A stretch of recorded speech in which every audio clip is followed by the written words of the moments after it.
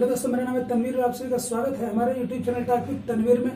दोस्तों, भारत सरकार ने चाइना को एक बार फिर से झटका देते हुए इस बार अलीबाबा ग्रुप के, अलीबाबा ग्रुप के तिरालीस ऐप को बैन कर दिया है। दोस्तों, यह कार्यवाही 24 नवंबर 2020 को हुई है। इससे पहले भारत सरकार ने दो से तीन बार चाइनीज़ ऐप पर सर्जिकल स्ट्राइक किया था, जिसपे लगभग 224 ऐप बैन कर चुका है, जिसमें इस बार जो ऐप बैन हुए जिसमें सबसे ज़्यादा popular snack video snack video पर बैन लगा हुआ है, पर देख सकते हैं।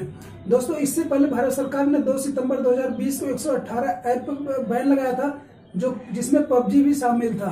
दोस्तों, जैसा कि आप सब जानते हैं कि भारत सरकार की सुरक्षा के मद्देनजर रखते हुए जिसमें जिसमें भारत सरकार की, भारत सरकार ने सुरक्षा हवाला देते हुए चाइनीज़ ऐप को बंद कर दिया था। 2 सितंबर 2020 को 118 ऐप इसके अलावा 29 जून 2020 को उनसठ चाइनीज़ ऐप बैन किए गए थे।